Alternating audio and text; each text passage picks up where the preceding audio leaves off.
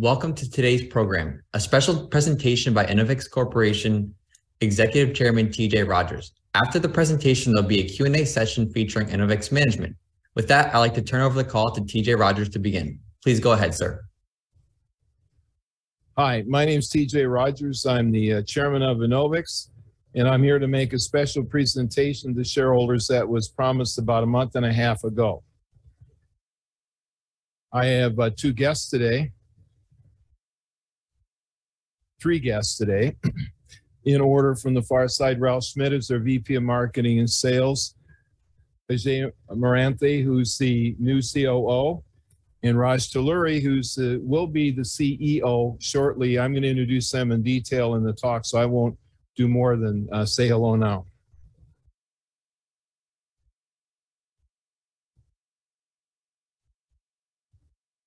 Ready? Okay.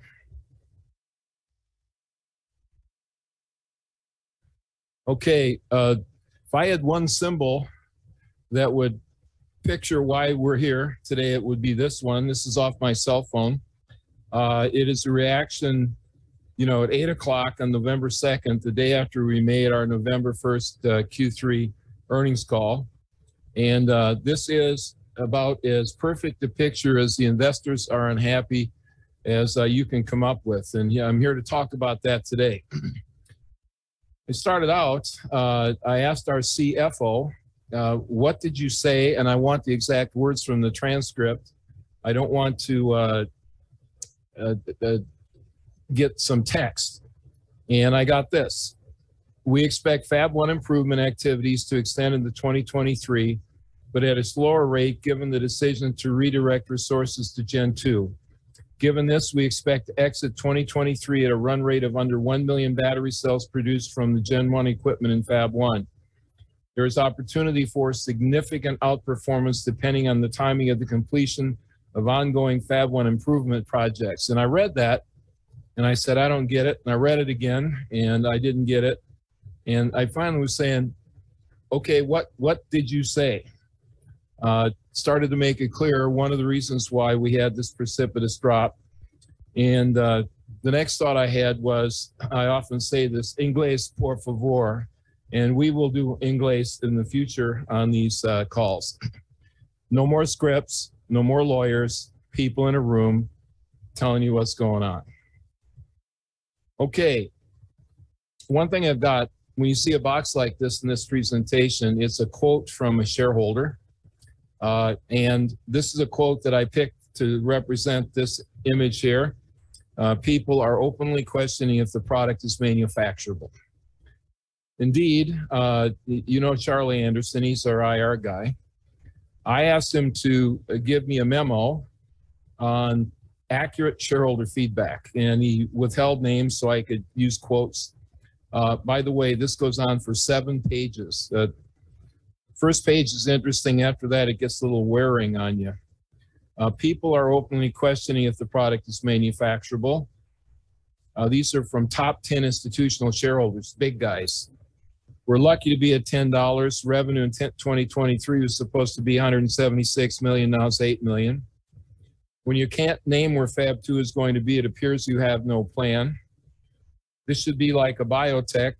There's a set schedule that everyone can understand with identifiable milestones, and you can update us on the milestones as they are met or not met.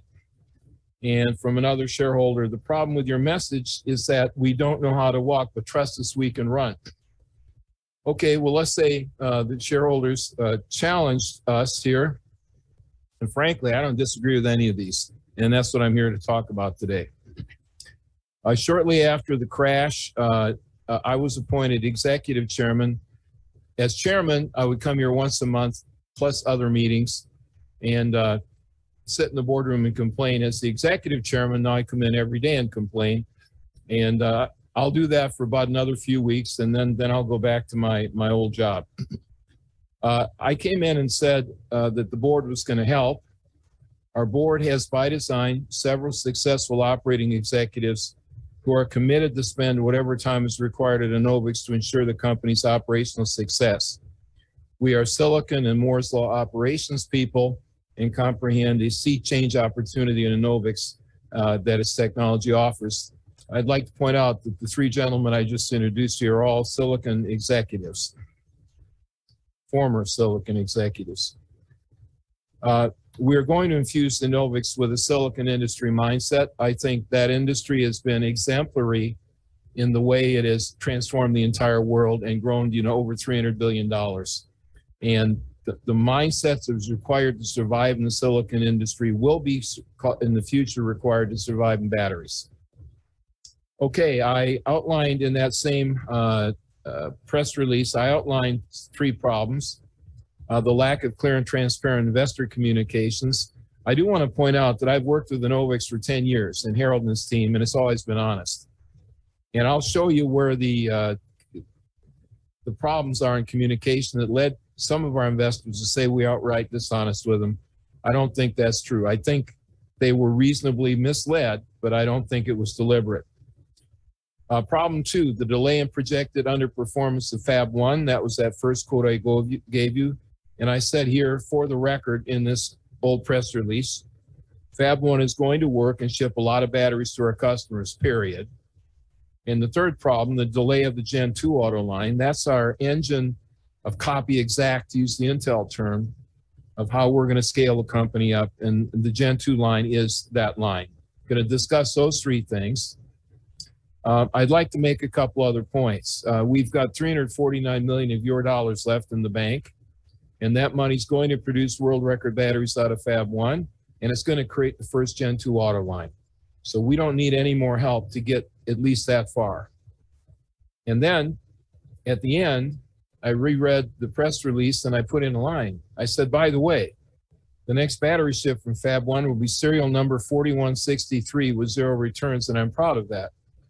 Uh, my my days when you got first silicon and then you got your first samples and then you sold them to your first customers, all those were bragging events. And for some reason, I don't know why, uh, that's the very first time we ever said how many cells we have shipped. I'll tell you why in a few minutes. It, it it's pretty evident. Uh, today, as I sit here, the cumulative number of batteries now shipped is 8,812 through Q4, and we expect to double our shipments every quarter. Now you can say that's small to twice as small, but I can tell you, you start doubling 8812, and you see how long it takes you to get to a number that does have meaning at 10 bucks a battery. Uh, we took Enovix public with a SPAC, and I've got a few slides from the SPAC investor presentation here. Um, in order, in order to tell you about us and, and how we think about Enovix. Uh, first of all, the crash to $10.74 is our fault too. Uh, after all, uh, our SPAC sold you stock, and although it's up, our, our investors are, some of them quite unhappy, and, and I think they have good reasons. So we'll talk about that today. In the SPAC, uh, again, this is the SPAC uh, S1 presentation. Our SPAC bragged about Enphase, uh, our success at Enphase. In this case, the stock price graph of Enphase over the last few years with a market cap of $18 billion. Uh, I came on the board of Enphase as a favor to uh, uh, Kleiner Perkins that, that invested in my company uh, in 2017. Uh, a few months later, uh, I took an ex-Cypress guy, Silicon guy, and asked him to be COO, and he accepted. And then almost a year later, uh, the same guy who'd done an outstanding job as COO was promoted to president. So that's kind of the story. Get a good Silicon guy and and get him in there and start changing the culture. And I'm trying to replicate that story here. Uh, this is, we bragged about our uh, Cypress chip auto lines uh, to investors to sell stock that eventually went to Enovix. And here we see an auto line. These are wire bonders, this die attachers, wire bonders. That's a mold in that, in that machine there. This machine is uh, 50 meters long. It goes through the wall to the other side. And this was my personal project. That is, I ran the weekly meeting for this, and we built 10 fully automated lines that took chips on blue tape and took them all the way out, uh, put them on tape and reel with a shipping label on them. We built 10 of those lines, and that was the back end of Cypress. I was tired of dealing with, with manual assembly in Asia. Uh, line one, just for information, ran 3,600 UPH, and by the time we got line 10 done, about two, two or three years later, uh, it was up to 10,000 UPH. So what we're doing has been done before. This is the first example. We also brag in our in our SPAC about SunPower.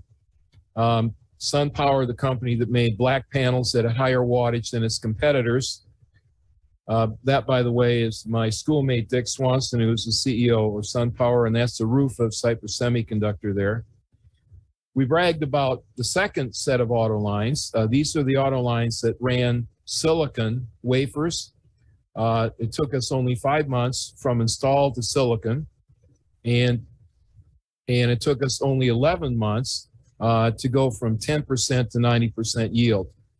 So this was a good record, and we actually modeled perhaps one of our problems. We actually modeled uh, our plan at, at Enovix after this plan. Uh, we also bragged about uh, the complexity of the SunPower auto line, uh, having to include diffusion, and in this case, right there, sputtering aluminum, tight, tight tungsten, and copper. So this was a complex auto line. We also told people about SunPower's low-cost plant that got in Manila to house the auto lines and the people that did it. Min Pham, uh, we'll talk about later, but ran manufacturing at Cypress and did the silicon auto lines I showed you. Manny Hernandez, who was the uh, IPO CFO of SunPower, and Greg Reichow, who's a Cypress engineer who we transferred to run uh, the auto lines at, at SunPower. Uh, we deployed four silicon industry executives to watch over Enovix. This is at the beginning. So the board included uh, me, Manny, Dan McCranie, and Greg Reichow. I'll talk about these guys later. And then, then we gave the S1 criteria for the target company, meaning this was an official document submitted to the SEC saying, what were we trying to find? Because at that time, Enovix had not been identified as the target and was one of several. I'll go quickly through the grading. Public company readiness, to me, that one's still uh, that one's still out uh, out to vote. A technically dominant product, we absolutely have it. Customer endorsements, we have them, and I'll give you some more data today. We've been too sparing, I think, on data about customers. Uh, where did we run into problems? Decision making, making decisions and moving on uh, taking responsibility for problems. These are cultural problems uh, that we're working on that, that is one of the reasons I'm talking about a silicon shift here. A culture that speaks and writes precisely. Well, you know more about that than I do because you've been on the wrong end of it. A culture that is passionate about delivering results, which they are, world-class batteries, but not necessarily on time. Every fuel cell and or battery company I've ever dealt with, and that's been four now, um, have the attitude we're working on something that's very hard to do and therefore takes a little more time and we always get surprised. So we'll we'll get there when we get there. And of course that doesn't work for a public company. A culture that respects capital. Now Enovix uh, is a tight company. They they don't spend money. They they don't fly first class or anything stupid like that but they're not tight with capital and they don't have the respect for capital they should. And, and I've held the ground there. Talk more about that later. A company that is impatient with delays in new products or initiatives. We won't tolerate being late with our new product. We won't tolerate being late uh, on the yield curve. And these are the things that, that we're working to change right now. Uh, finishing that list, uh, we were looking for somebody with a dominant share in a growing, growing medium-sized market. Check, we've got it. We, we don't want to be a tiny player in a huge market. We want to dominate a market, in this case, reportable electronics. Uh, we're looking for a second product on schedule, so you don't get a one product wonder company. They've done that. Silicon Valley company and a formal plan to meet street expectations. Okay, this is the formal plan to meet street expectations. Uh, it was, this is the SPAC, merger with the SPAC. This meant, uh, this meant that it was the pipe plan, the plan that we gave to investors. Harold signed it. This is back in 21, in, in February 21, and I signed it. And then in a relatively formal ceremony, we dragged everybody into the boardroom, all the VPs, anybody that had an important number in this plan, and we said, we want you to sign it. And we're going to bring this plan out with your signature on it later if it doesn't work out. In retrospect, that maybe is a little bit too heavy-handed. Worked in the silicon world, but what happened? It created fear of failure. Oh my God, what if we don't make the plan? It's really going to happen. And that led to a slowdown of decisions and uh, defensive communication, which you're all aware about, aware of. So my fingerprints, my method of making people accountable are on, on this culture problem we have as well. It's, it's not just their problem. Uh, this is the pipe plan that we gave to investors, exact copy of the plan. Uh, and, and all you have to do is look at a few numbers on here to understand what the problem was. Okay, first of all, 2021 revenue NRE, we footnoted it, non-recurring revenue. So we told everybody we would get that. And by the way, I don't want to, uh, I'm not going to talk about NRE revenue today because we will become real by making and shipping product. Uh, but NRE revenue is very important because that means some companies giving us a million bucks or two or five million dollars to make batteries for them, a custom battery, or to guarantee future uh, uh, future capacity. So it's important, but not at the expense of, shipping product revenue. We had a debate. I remember the debate well in the boardroom when we said, should we put the footnote in 2022? Should we say it's going to be a mix of product revenue. And at that time, we felt it would be more product revenue uh, than not. But we decided not to put the footnote in and simply to report revenue as an aggregate. It was against my advice. I, again, I was the chairman, not the executive chairman. If I had my life to go over again, that little two would be in the 11, and we'd, we'd not be having this meeting right now. Okay, then bam, revenue grows to $176 million. That was in the quote. And the assumption there is Fab 1, where I'm sitting right now, people making batteries behind me, I would have four lines running. And they would run at a certain efficiency, and that efficiency would ramp, etc. And when you're sitting back in February, February this year, and you're looking forward and say, gee, that's two and a half years away before the third and fourth quarter of 23 uh, we should be able to get that done. We, we signed up for that, and that was that blue plan I just showed you. So what happened? the lines didn't work. They became manual. And we have 194 operators way above our plan. We have more, we have over 80 yield engineers, again, above our plan. And we spent 80 million bucks instead of 34. Now, I don't, I'm not apologizing for that. We're doing what we have to do to be successful. But this is the first obvious big problem after this one. The, the benefit was on CapEx, we're supposed to spend $117 million. We spent half of that. The reason we spent half of that is the machines didn't work the way we wanted, and I refused to replicate the equipment that wasn't going to make the standard required for us to be successful. That's simple. And there we had a problem uh, I call money poisoning. Uh, when startups that have been grubbing for money for years all of a sudden get a few hundred million in the bank, they sometimes think they can buy their way out, and they can't.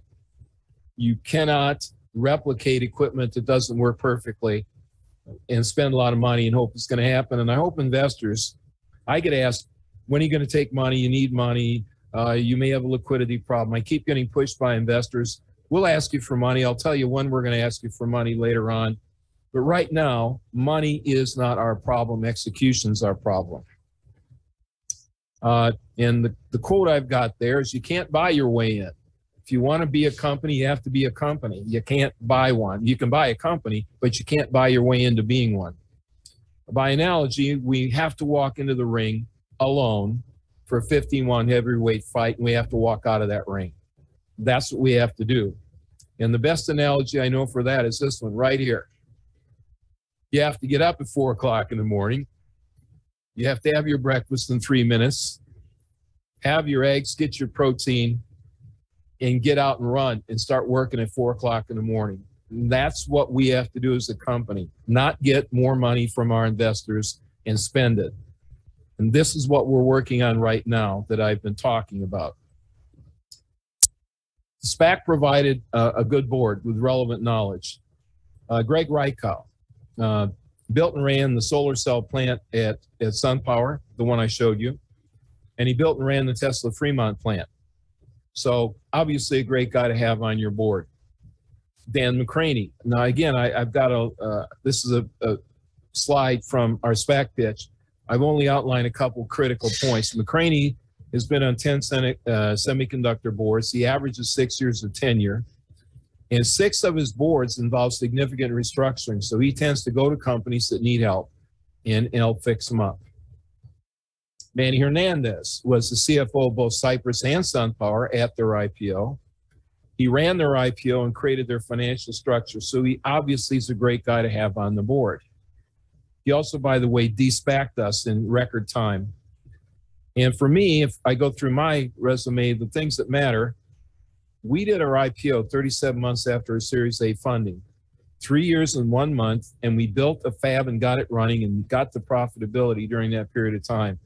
So what I bring here is an insistence of getting things done quickly and that that is countercultural in some time, uh, some cases uh, to where I am.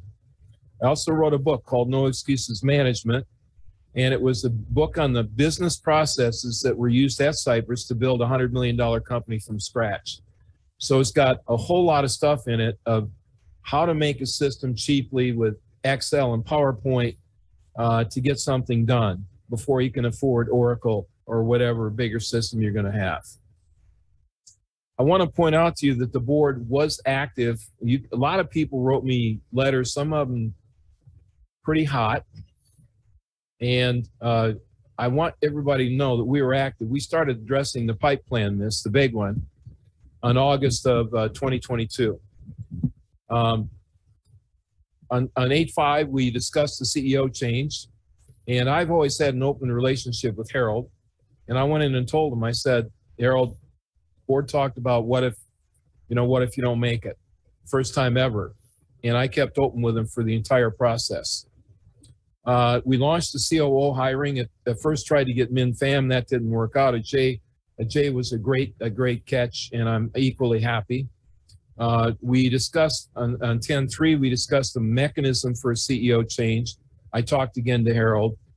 Uh, then I took over the COO search, which was doing is going slowly through the bureaucracy. And I went through my first interview on the telephone to an offer to an acceptance to a press release, which I wrote myself, getting AJ, Ajay here. Uh, and I'll, again, I'll show you his resume later. We had the big drop. Uh, then we launched a formal search for a CEO. In that case, the board said, look, our job is to do what's right for our shareholders, and we obviously have to look at our options now.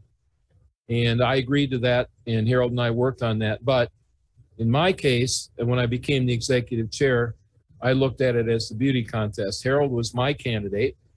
Uh, McCranie was out looking at external candidates, and we were trying to find the best option for the company. Now, some of you may be saying, well, you know, really? I that does sound credible. Uh, it is credible, as I'll show you in a minute. We got Ajay landed, okay, and then that was uh, in October, uh, in November 10th, and then just a few days, Christmas Eve actually, uh, we got a vote uh, to hire Raj as CEO. So in the in the beauty contest, uh, this guy's resume, as I'll show you, glows in the dark, and it was really fortunate for us uh, to find him. Harold was one candidate. Let me just remind you if I showed you his resume and said, Would you work with this guy? Uh, BS Mechanical Engineering, MS from Stanford, ran a company called, he was in a company called FormFactor, ran operations in FormFactor. They IPO'd and they got big and they were the premier probe card maker in the world uh, out of Livermore. Comes from IBM, ran a disk drive fab, real engineer, 94 patent, 63 more patent, co-founded Enovix, raised $789 million. And the current market cap of our company, which we'd like to raise, is still $1.9 billion. I, I just tell you, if this resume floated down Sand Hill, it would get grabbed before it got to the Stanford Shopping Center. Then I came out as the executive chairman uh, with a set of principles, like I want a plan and I want the plan to follow this format. I wasn't trying to dictate the plan, but I was trying to make sure the plan uh, fit into a, fit into what the company needed. Pretty straightforward. I was griping it was late, and I said I want to review the plan in the 126 board meeting. We are on schedule for that, and we're actually through a couple of drafts. Uh, by the way, I revised this a couple times, from the gray font here is uh, from the revision. Uh, the major assumptions AOP must be clearly stated in writing. It turns out that was more difficult than I thought because that clear thinking committed to writing is it, it hadn't happened. The AOP financials and milestones should have had should have 80% achievability. This is your meet and beat number where I don't want an AOP that is great the day you put it out and then it's the most dreaded thing in the world, like that plan I showed you before when you actually get there. Okay, EPR PCR system, one bit of jargon, equipment procurement review, process change review. This is how you develop equipment and this is how you measure the process. They're co-developed. This is a Cypress system that was used to develop uh, Moore's law technology. Again, you go back to semiconductors, every two years, your technology becomes obsolete in Moore's law. You live in a culture that says, I have to be somewhere in two years. And the other cultures, it's not just batteries and fuel cells, go, well, you know, we've been working four years in this technology, it's really great. And and this is and the and the thought that the Grim Reaper's only two years out there doesn't cross their mind. That's one thing I find about silicon people and, and my other companies so this system is a formal system that turned multiple turns to develop multiple generations of Moore's law. It really does work. It's complex. It takes a lot of time. That's because you got to do a lot of stuff to build a new generation fab. So I said the EPRP, and I'll call it EPR in this presentation.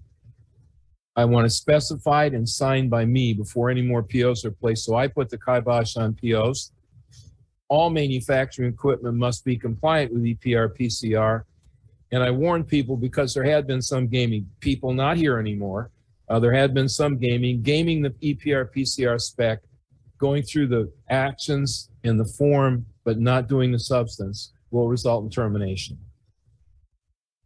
Fab one must become economically important, not necessarily profitable. We're, we have a small fab in, in uh, Fremont, California but it has to be economically important. I define that as a million or more in revenue. And I want a customer to disclose that our batteries enable the product. Our watch, cell phone, whatever, couldn't do what it does without the Enovix battery in it. It wouldn't be as safe as it would be otherwise without the Enovix battery with BrakeFlow in it.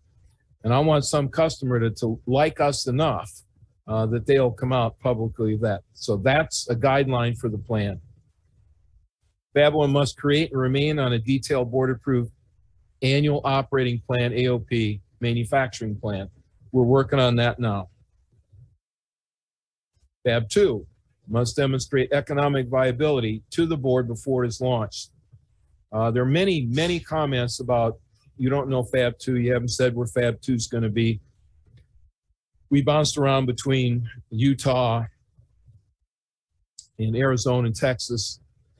Uh, just to, to give you a foreshadowing of what I'm going to say, it's because we couldn't find a way to make batteries in the United States and make a company that had 20% profit. And that was never our plan. Our original plan was like SunPower. Uh, SunPower put its wafer fabrication plant in the Philippines, Southeast Asia. And that was our original plan. And then we decided, and uh, we decided we were going to put Fab One here, engineers being close, all the standard arguments.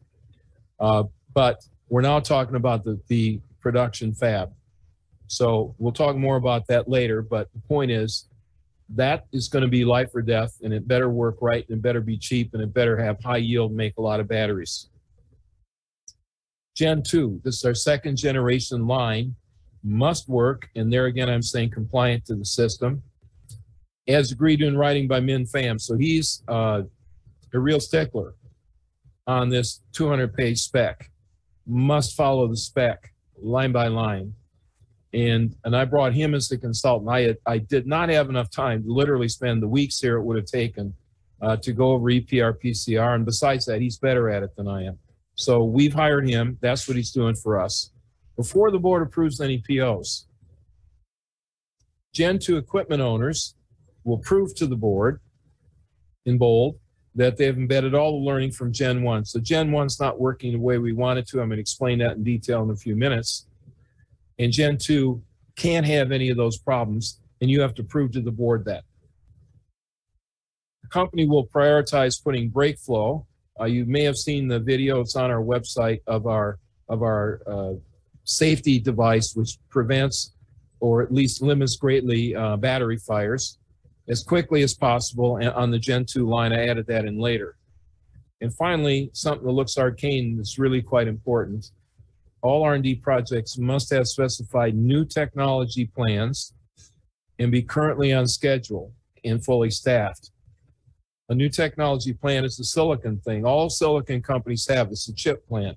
I want to make a chip. It's going to cost $8 million. Here's how many people I need. Here's how long it's going to take. Here's my phase gate plan for milestones. Here's the return on investment. No chip company would launch a chip without that. And I want to get all of our projects here. We only have five right now. All of our projects here on a new technology plan. Uh, so they're all lined up and linked up, and that that's that's a problem. So short form, make Fab One start shipping, get Gen 2 line to work for real, and make R&D more productive with new technology plants. So uh, I put the afterburner on getting Ajay Marathe in, master's degree in IE from Texas Tech, AMD 23 years. I met him at AMD. I actually tried to hire him out of AMD, and they promoted him uh, to an equivalent job, the one I was using to hire him, and I, I didn't get him at Cypress. Ran the Thailand plant, which is 6 million units a week, and we wanted a guy who does 6 million units a week and thinks that's normal in the company. Uh, VP of Ops for Computation Products, they had him run a business. Uh, this is the one that completed head up with Intel. VP of Ops uh, for Asian Assembly and Test, that was all of Asia, four plants. And his last job there was CEO of AMD India, which was their LLC that was um, the represented in India. After a bunch of time at AMD, he was 10 years at Lumileds uh, as COO, uh, the lighting company, and uh, at Western Digital, uh, also running operations at the big data storage company. One of the best manufacturing guys I've run into for a long time, comparable to the my guy that I bragged about earlier. Um, we were very happy to get him. That's why I accelerated his offer. So Ajay has come. Uh, this is his 49th day. I explained to him yesterday that the 49 days are the free days when he inherits other people's problem. On day 50, they become his problem. So in his last day of freedom, uh, here's what he's found in his first 49 days. Thank you, uh, TJ. Uh, really appreciate the introduction, but very quickly, I've uh, in the 38 years I've I've been in the industry uh, here, mostly and all in silicon, uh, working for AMD. Uh, many of you might have forgotten we started at 8286, which is the heart of the any personal computer. I've handled that ramp all the way from there to eighth generation microprocessor exceeding the first gigahertz. All those ramps were similar in nature, vertically straight up, yields not looking good, focus on all the elements, you know, which is not rocket science, which are given here, uh, ownership and accountability. Every rejected units, every down machine needs to have an owner. And that's, you know, we have already started this. These are list of eight or 10 uh, initiatives which we have already begun on. Uh, machine-centric yield plans, again, not rocket science. Specific actions with co-owners. This is all about maintenance, engineering, operations, coexisting, working on problems real time with full ownership and accountability and transparency. Cost of non-quality program. This is something you detect problems early so that they don't accumulate cost and later on get rejected with a much higher cost. So drive down the value of the scrap units. Again, you might say not rocket science, but operations is not about rocket science. Neither it is about battery science. It is about discipline. It is about hard-nosed blocking, tackling, and working on these issues. Design for manufacturability. Balance the yields with tolerances without compromising performance, without having quality issues. WIP count, discipline on MES. MES is the manufacturing execution system. Every unit is accounted for. It's either gets shipped to a customer or scrapped and accounted for with the owner. The Japanese 5S cleanliness order program. Again, nothing rocket science, very well documented. The five S's as in sort, uh, straighten, standardize, shine, and then sustain. And added to that is safety, obviously. As I was walking up the stairs today, I forgot to add the 6S. Actually, it should be 6S program. So that's what we are implementing full blown. World class supplier program, again, not new to the semiconductor industry. Having senior executives on speed dials from the suppliers who you depend on every day to supply you good parts so that you never run into a problem after the after what they supply is here in our premises. I'm a huge not a fan of incoming quality inspection. Those are gates which are unnecessary, but for that you need a really good supply network which you can depend on. And then limit remote work as much as possible. In this day and age, we're getting used to that back again. But I'm a huge fan of everybody comes to work every day. You're a manufacturing operation. You don't work remotely and, and be effective. So we'll, we'll be working on that very rigorously. And while we are at it, we reorganized manufacturing already, removed one of the layers, uh, redu- reduced the number of managers who had the title of managers but really didn't manage anybody, uh, or maybe one or two people. We combined that. This is not just to take care of cost, structure, infrastructure. This has to be all about, you know, significantly improved communication between the top and all the way to the bottom. Every single operator needs to feel responsible for the goals that you know TJ just highlighted in the in the in the initial part of this presentation. And while we are doing this, we're going to double the output, as TJ said, from last quarter to this quarter, and keep doubling it and exceeding that every quarter thereon. So those are my first 49 days. Again, like TJ said, these are all my problems starting today. Actually, they were my the the what I've been brought up with. They're once day one, they're my problems. So, but we have a great team here, which is working well together. Thank you. Okay, continuing on, uh, I did some manufacturing guiding principles uh, also. Uh, This is an important slide for investors because it's got a lot of the answers to questions in it that you've been asking. First, a couple of terms, proof of concept, POC. It's a process to make equipment heads. So heads are the steel things that touch the product. And you have to show they work with proof of concept. They have to be validated that they do stacking and laser, et cetera. And then they get automated.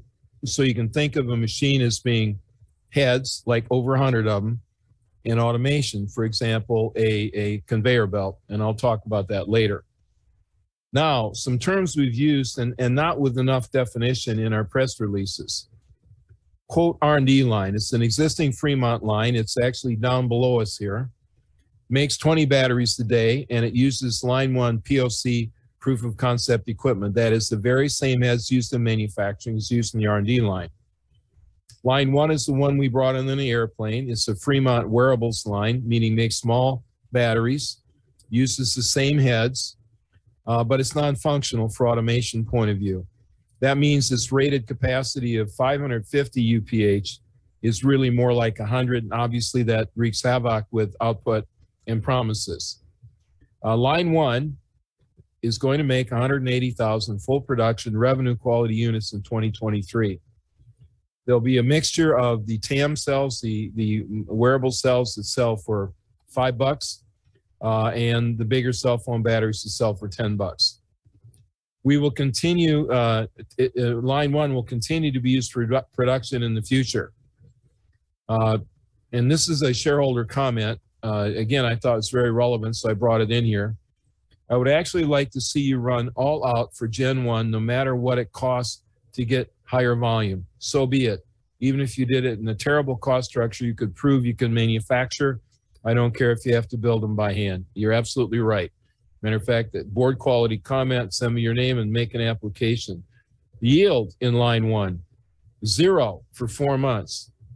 Scary. I'll talk about this later. Is 42.5% as we sit here, and that's a real number, a rolling average. And we're going to get to 60% by the end of the year. Line two is in Fab One.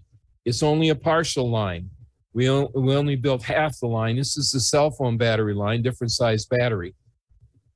So we've got the laser cut and, and stack uh, with POC equipment, but it doesn't have the back end, the bagging. Uh, and we did that because we didn't want to commit to the second half of the line two until line one worked. That was the savings of money I showed earlier. Line two units will be sealed and tested in the existing Fremont facility. Line two will be activated to make uh, 5,600 units this year. And when Gen 2 turns on, line two will be obsoleted. We will pull a plug and move the next thing into Fab 1 that we need to work on at that time. The Gen 2 line uses mainly the same POC heads uh, that line 1 does, but it's more parallel and faster. 1350 UPH. I'll talk more about the credibility of that in a minute. Its nameplate capacity is 9.5 million units a year at 80% OEE. 80% OEE means 80% of the theoretical output if it ran perfectly 24 by 7 every day. And that's an achievable number in a good manufacturing line. But I've bolded when ramped. Uh, one of the problems I have, some investors think, you know, we get a sign a PO one, not one, more like 30. And then a quarter later, you get the machine, and a quarter later, you start printing hundred dollar bills. Not the way it works. But these ramps, the first one's going to take a year. I just bragged about a 50 week ramp uh, for SunPower. And after that, they'll turn on a lot faster. The Gen 2 line will go to a new Fab 2 in an existing Southeast Asian low cost site. Uh, it's going to be offshore because we need to make money in the long haul. And that's new and different from what you've seen before. And it's a, it's a, it's a consistent with our original plan. And we will announce to you what that site is by July 2023. We're having a, a uh, negotiations right now with the various countries in order to get the best deal. Design is, and by the way, this is the reason right here, this, this thing hanging over us, that we kept waffling on the, on the Gen, on the Fab 2 site. Design is completed and, and the Gen 2 line design is completed and will be board approved by March 15th, period. That's the day you're going to see the approval or earlier. Uh, we will be delivered, uh, the Gen 2 line will be delivered to Fab 2 in November 2023. I validated that number twice today. And there will be four Gen 2 lines in Fab 2 by Q4 24. In other words, that, that, right now, we don't know if that's a four-line site or an eight or 12-line site, but it will be at least four, and these things will be coming out one a quarter. By the way, that's the first time we're going to need money, because those three lines uh, three new lines will be 150 million bucks. There's a thing called the agility line. Uh, it's pretty simple. It's a new faster and Fremont R&D line. It'll be downstairs. It uses the Gen 2 components, so it looks like Gen 2. It can make things quickly, and it'll obsolete our R&D line, which is you know uh, old now. So, on this quote, selecting the Fab 2 location is a powerful thing. You're absolutely right. Uh, and by the way, we can wait until July because that July will not delay money. Okay, this is a picture of the line running, and we are explaining the line running. This is from our pipe presentation. Shareholder comment, the real problem is execution. By my math, Fab One is doing less than 10% of what it should be doing. Absolutely right. I want to explain right now. Fab One will make an eight, a 3D battery every two seconds, and that's four lines, meaning one every eight seconds uh, for two lines, for example. Um, excuse me, eight seconds for one line. Okay, what happens? This is, if you want to ask which slide you showed in the pipe presentation exemplifies what went wrong the most, here it is. first of all, the two seconds uh, went to 4.1 because we only had two lines. I'm giving the second half line, it'll run, uh, it'll make the, the its capacity. If we run at high OEE and high UPH. It then goes to 22 and a half seconds when we lost the automation and the and the UPH dropped from 550 to 100. And it then went to 72 seconds when the, when the OEE dropped because of the lack of automation and the need to do manual stuff and the yield problem. So what we started out as the battery every two seconds ended up battery every 72 seconds, a battery a minute roughly. And that's been the problem, and it's got multiple causes. We'll address those in the plan to fix them in a minute. Investor said you need to articulate the exact changes between Gen 1 and Gen 2 and why it doesn't require a miracle to deliver much higher throughput with high yield. You're absolutely right, sir. this is a head. These are anodes. You can tell because there's copper there. The black stuff is silicon. These are stripes that get stacked into a battery. This head is punching them out of the strip where they got made and stacking them. This is a, there's this is a stacker head here. In this case, they're putting this, this is putting on the white stuff is the separator piece of plastic. So you stack you stack the battery, anode separator, cathode separator, anode separator, et cetera, 100 high. So that is one head. After you stack it, there it is. And this is this fixture. So when this stack uh, gets moved around the factory, it gets moved in a fixture. I showed you electrode stacking. This is constraint application. And Here's where the stack gets the stainless steel wrapped around it. That is part the integral part of the battery. An interconnect, where in effect the edges are finished and connected to the leads on the outside. So you can see how the heads, one after the other, produce the battery. heads are what make the battery. Gen 2 versus Gen 1 is about how many heads there are and how they are transported, not redesigning the heads. That is, Gen 2 is not a from scratch redesign for the Gen 1 system. Gen 2 is about more heads in parallel, and there is a little bit of redesign. and I'll talk about that in a minute. So there's the fixture and the stack. There's a conveyor belt, and this is how it moves around the factory. So this is a common fixture that handles the battery in the machine, and this is how it moves. By the way, the precision of this belt after what's called a preciser is 100 microns, meaning 0.1 millimeters is how accurate this belt can place something, and that's not quite good enough for a battery. So here's Gen 2 versus Gen 1, some parameters. Placement, conveyor belt goes to linear motors, uh, little things that move along and grab on to distancing markers, taking the accuracy from 100 to 20 microns. It's uh, Gen 2 is wider. In the case, it's three wide for the laser, five wide on Gen 2, and up to 12 wide on the baking station, where the bake takes some time and we need to get through it at speed. Not enough metrology on Gen 1. That got fixed on Gen 2. Uh, cost on Gen 1 was low. Gen 2 is higher. The UPH was rated at 550 nameplate. We don't think that machine, if we worked on it forever, would be over 200 and we have 1350 and an obvious question is so is that real? This means the depreciation per unit is higher uh, on on gen 1 than on gen 2 and and this this will be the benefit but the real benefit is gen 2 is going to work and gen 1 doesn't. Gen 1's a manual system. Uh, gen 1 has 45 heads on it gen 2 is 120 now here's the key is it, are you going to start all over only 13 of the 120 heads are completely redesigned. And of those 13 heads, there's only three different types of head. They are used multiple times. So this is a graph of Gen 2 heads uh, and versus Gen 1 heads. And here you see the zones.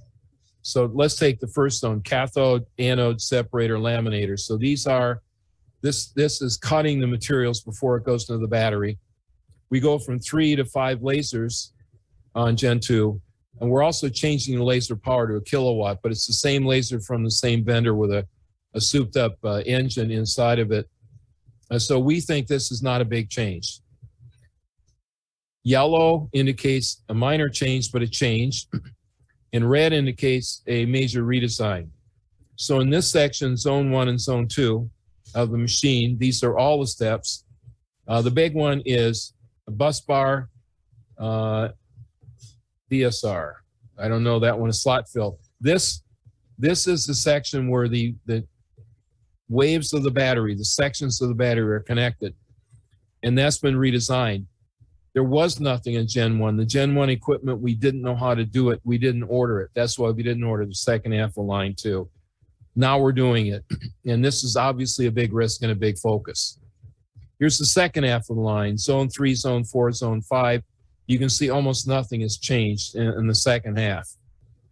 So the conclusion is, um, or the, the request was, you could have a slide that shows all the steps are the same and that this doesn't require total recalibration. I, I think this illustrates that, but obviously this, op- this is a risk. It's got to work. Okay, I got a quote now. This is from the book The Right Stuff, which uh, changed my life. Uh, and it was about test pilots and eventually the space program. This particular quote is when the Russians beat us to space uh, for the first astronaut. And the relevance of this is, well, the Soviets' chief designer was what they were worried about. He had to keep smiling, he being uh, John Glenn, had to keep smiling and awe shucking and playing Mr. Modest, just as if it might, in fact, be he who was going in the top of the rocket on May 2nd as the first man in the world to risk the mighty shot to space. And then, early in the morning of April 12th, the fabulous but anonymous building of the integral, chief designer of Sputniks, struck another his cruel but dramatic blows. Just 20 days before the first scheduled Mercury, Mercury flight, he sent a five ton Sputnik called Vostok 1 into orbit around the Earth with a man on board.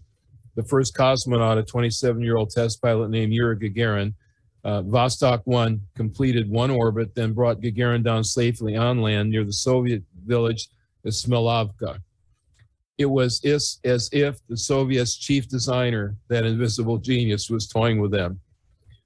I'm not going to pretend that line one didn't have some component in it of design. And and and I felt that and it wasn't developed right. Then we hired our chief designer. Uh, when he came into the boardroom, he'll remember I got up my cell phone and I pulled up a song from 1969 the keywords of which were where were you when we needed you? And i played it for him in the boardroom. The guys were smiling. So i'm going to give you our unnamed chief designer because i don't want anybody to know who he is. That's our guy right there he's former member romanian naval special forces and he is not going to fail he's a good designer anonymous milestones this is one thing that will be signed in the plan, all three of us. I checked on this thing four times today. I think it's right.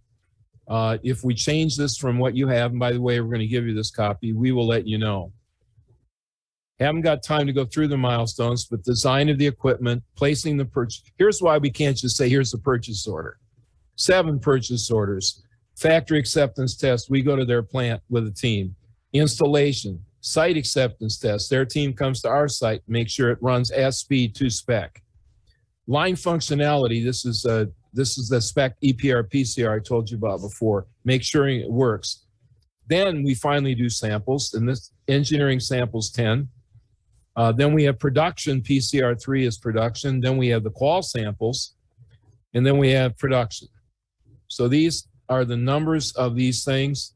And these are the numbers as they happen. So for example, an engineering design review on the line Gen 2, uh, we've got 17 done. Uh, we'll have 17 done at the end of Q2 and 17 at the end of Q3, and so on and so forth. What does that mean? Installation, 16 lines will be installed this year, 16 machines will be installed this year, 18 in the first quarter next year. That's when it'll be done. Uh, we're going to have samples, our first samples, a thousand of them in, it's actually in April, uh, but I have a mistake there. This slide in perfect shape will be in the deck we attach. I want to talk about yield.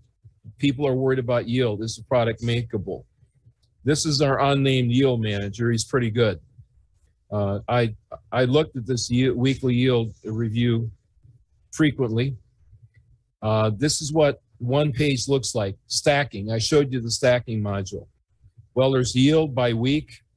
There's the number of failed units by week, and then there's the Pareto of code and cause of the lost units in the last seven days. Is a close up of the Pareto. So what this team of engineers does is they work on the big bars and they beat on them. 10 Pareto graphs. This is one of 10. 10 teams of about eight people each, cross-functional engineers, me- mechanical engineers, battery experts on each team. And we got these guys beating on 10 Paretos. So the overall yield for this, in this report, there, there's 10 yield panels. You can see some of the yields are consistently high. You can see some, this is the one we dug our way out on, on, on the integration. You can see which ones they have high risk. They're worried about these two, uh, medium risk, low risk. Here's their learning curve. This is extremely important. Up here, the yield is zero. The failures are 100%. You always graph defects in a yield curve. 40% yield and 100% yield. Here's the yield. These are actual weekly data points. You can see for four months we're shut up. We couldn't get the sucker to run. Then we finally got it turned on and we started improving at the rate of 3.1 percentage points per week. Once you get the engine running, this is classic, then you start learning faster. And that was 11 percentage points per week. In the future, uh, this this curve is well known in silicon. It's the S curve, and it'll it'll flatten out as you start you know having fewer and fewer defects to work on. This is a good yield effort. This is a silicon yield effort. This is the effort that would typify any top silicon uh, semiconductor company. Our yield team is very competent, making good progress. That's the only point I want to leave with you. Okay, I'm talking about requirements for safety and accelerated testing. This is the specification. That's its number and revision. And I just want to make one point. Um, one, our Fab one return rate is zero out of 8812 so far. By the way, I got notified today. You, the level of honesty here is great. We have a letter from one customer about one unit, and they say they have a they have one unit that has got uh, it's it's uh, swelling. Okay, so it's still zero. We haven't gotten that as a return. We probably will. Just be honest with you. Okay, this is spec, the, section 513. I'm trying to illustrate what a spec looks like inside of this company. So we do, um, we do, this is electrical testing, high temperature, overcharge, drop pinch, cross impact, nail pen. You've seen my picture on the nail pen. Here's the number of cells our spec says we need. We need 600 units. And this is not the only spec. This is uh, accelerated lifetime. We also have accelerated lifetime margin where you do all this uh, to extreme. We have United Nations 38.3, which is required to get in an airplane, needs 40 units for that. We have UL, we have IEC, which is the European equivalent of UL, and most countries have a set of specs. So the point is, every time we change the battery, this is what our requirement is for what we have to do and do testing. This is why it takes so many engineers in the battery world. I'd like now to talk about sales a little bit. Uh, I, you guys know Ralph. He's been here for over a year. Uh, comes out of Rutgers, uh, Rutgers BSEE.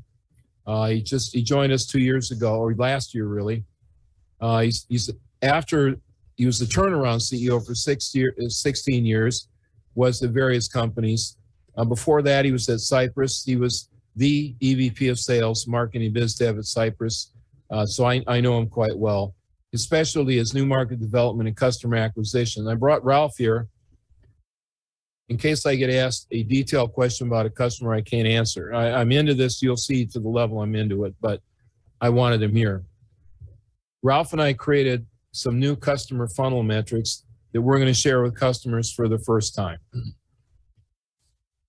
Our shareholders say design wins translating into customer purchase contracts would be useful value, value drivers, which give investors a better line of sight on revenue going forward. You're right. So that's what we're going to do right now. So this is the funnel. I'll eventually fill in this graph. The milestones in the funnel are ES10 engineering samples. Uh, we stand behind them. They work. They'll meet the data sheet. Custom samples. We made your battery to your spec, so it's your size. Maybe uses some component you want. So these are the beginning points. You start here with a standard battery or here with a custom battery. You then go to production cell qual. Qual samples 100. So now instead of onesie, twosies, you're dealing with 100 to 1,000. Uh, by the way, three to nine months, six to nine months, four to six months. Here's the duration of each of these. Then you move on to product integration where they buy a thousand cells because they're going to make a thousand watches or cell phones or whatever. And that takes months to do because they got to do their drop, kick, pinch, crush test as well. Then they finally buy pre-production and, you know, 10,000 units is, this is hefty number, but uh, these guys are in consumer electronics and they consume that much. Pre-production units, and this is when they start shipping to customers. And then finally, this is the first million dollars. So these are the milestones in our funnel that describe where customers are. Now I'm going to tell you some of our customers to an 80% approximation, we're not allowed to use their name, but I'm going to tell you some of them and where they are in the funnel. This is the funnel as of the beginning of last year, or the year before last, actually now. Uh, 43 counts had been a sample from the pilot line. Most of them were doing ES10, and several of them were customers, uh, custom samples. Now, what is the key? Take this guy right here. It's S14. What does that mean? S means a strategic account. S star means a mega cap strategic account a key account, which a, strategic is top three in this business, a key is top 10 in this business, a lead, first application in a new area or venture. So these are keys for what type of customer. So S star is a mega cap customer in the top three. The color signifies where they are. In this case, it's wearable. We also have colors. You can see them over here for mobile phone, laptop, and other. So we have all of these um, uh, customers 43 of them. And that's where we were a little bit over a year ago, like a year and three weeks ago. By the way, this customer is Samsung. Uh, we thank Samsung, appreciate the fact they let us put out a press release, and and you can see them. They're right there, and they were one of our early customers. Okay, other customers. Uh, this slide will not be in the deck we hang on, but today Lite-On, Milwaukee, Canon, Panasonic, Sonos, Casio, Nintendo, Samsung, United States Army, Braun, Genius, and Oppo. Uh, Genius is a watch company, and Oppo is a cell phone company in China. So these are companies for which we do not have an NDA. And we just let you know that, that these names are real. And you know, when you see a high number like 49, that means there's, that's number 49. Okay, now what had changed? December 21 moving forward to December 22. Fab 1 enabled a progression to go to qual qualification samples. This is where you qualify the fab, not just the technology. A thousand samples and 10,000 samples. We moved up to 20, 78 accounts, and here's what the map looks like now. We've now got one account, LO5, that's uh, out of 10,000 units. Here's our plan for 2023. So you start out where we are today, and the question is, what will it look like at the end of this year? So this is our plan. And you can see it shifted some. We've got more people coming in. Uh, we moved through the funnel. And LO5 is, is our plan to, to go to first million dollars. That's going to be our biggest customer. Uh, the way this works is this gray arrow says salesman number one in the United States is responsible uh, for keeping track of this customer on the on the on the customer side and and watching this movement. Salesman number one, light gray, also has these other actions he's got to achieve, and these are part of his uh, his plan, uh, his his uh, what we call critical success factors. Salesman number two is Asia and United States. There's his plan. And salesman number three is Asia only. And there's his plan. So this graph is kind of messy, but it gives you down to the customer name and the customer milestone and the change in the customer milestone that's in our sales plan this year. Ralph has done a good job organizing sales, and we spent so much time uh, talking about other things, we don't really know it. I'd like to thank uh, one of our investors, Greg Reyes, who sent a letter nine months ago and said you ought to use codes like this. And uh, we did it. Uh, Ralph and I did it. So th- this this now is the Reyes format, if you want to call it that, uh, for sales. So DO1 has taken 3,000 cells, 1,600, 1,100. On people have taken five cells. The number of customer cells added up to 8812. And here's what we ship by quarter. So last quarter was 4442. And next quarter, we forecasted nine, which is doubling. Now you can say, well, those are small numbers, but nine doubled is 18, doubled is 36, doubled is 72, doubles 144. So that's a curve about as steep as any company can do. If you put the data I just gave you into ordinary funnel statistics, we have a $13 million TAM by 2025. ES10 engagements and the other engagements farther down the pipe are 750 and 669. They're equally divided. These two added together, $1.42 billion. So we've touched, dealt with, have connections to about 11% of our TAM. So our sales efforts working well, and they really badly need those 180,000 batteries to come out of Fab 1. And Fab 1 needs to deliver because Fab 2 doesn't exist yet. It's that simple. So, um, here's the new CEO. His name is uh, Raj Talluri. He he will be here on the 18th, and I will gladly go back to um, being being a director. Raj's got a PhD in electrical engineering from UT Austin. Uh, he worked at Micron for four years, senior vice president and general manager of the mobile business unit. That is taking Micron's standard DRAMs and flash memories and customizing them for mobile cell phones and, and wearables uh, to get better ASP and better customer lock-in. That's a six billion dollar division. He did the same kind of job at Qualcomm on their IoT line and the CDMA line before that. And before that, he worked at TI for a bunch of years doing the product lines. OMAP is their DSP processor, their wireless product line, imaging, audio, digital still cameras, and came up through the technical ranks. Uh, I said before, it's a uh, resume that glows in the dark. He specializes in new products, business unit management, and business processes to achieve the above. I'd like to introduce Raj. Now, he's been here this second time he's been in the building, so don't ask many questions. No, thank you very much, uh, TJ, and uh, really my pleasure to be here, and uh, super excited uh, to be joining the Enovix team on 18th.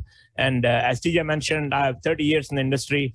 I worked on uh, many, many different products, from concepts to you know early stages to ramping millions of units a month. And I understand what it takes: the discipline, the structure, the processes to go from early samples to high volume production great quality with no returns. I'm super excited to uh, take this technology, you know, with partnering with Ajay to the next level and ship millions of units. And uh, I have great customer relationship with almost, uh, you know, all the cell phone and also the consumer electronics companies uh, over the past 30 years that I've built. And uh, it's going to be a lot of fun to build this. And one thing I'll say, you know, why I'm super excited by the batteries is, um, you know, in these portable electronics and even cell phones and PCs and so on, if you look at the last i don't know decade or two that i've been associated with them the processors the memory and almost every semiconductor component has grown leaps and bounds in terms of the performance in terms of clock speed in terms of you know user experience but the batteries haven't kept up now if the batteries actually kept up at that rate you can imagine what the user experience of these products would be. Even now, in many of these products, the processors, the memories throttle the performance because they don't have enough battery capacity. So I feel like building great batteries like we are you know, about to at Enovix will really not only create great value and business for Enovix, but I think it'll also do a phenomenal job of great user experience for all the people who buy these devices. So thank you very much. Super excited to start here soon. Okay. Last slide. Second last slide. Fab 1 is finally working. 8812 units shipped, yields at 40% and rising. We got a great new COO, Ajay. We'll ship 180,000 units in 2023. Gen 2 will be board approved on that date, come hell or high water. Uh, it's faster in automation than, than a Gen 1. It will be installed in a Fab 2, will be in Southeast Asia, where we plan to put four lines uh, quarterly in 24. And we'll have samples on 41524. So here I, I got the date down to a day because these days are too important to talk about quarters. Uh, we have a stellar new CEO. We'll refine our strategy, install R&D processes, and instill a P&L mentality in the corporation. And we plan on winning, folks.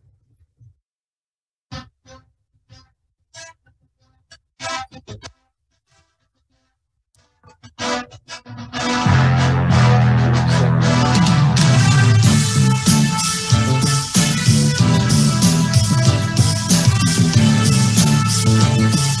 uh, we're supposed to have music here.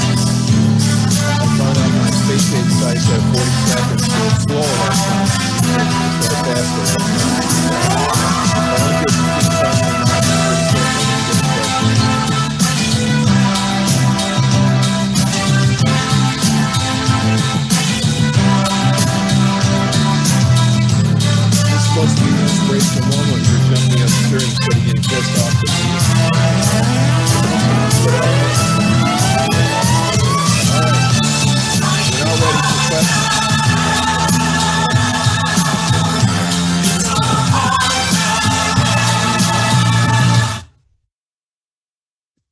We'll now begin the Q&A session. Please note that this call is being recorded.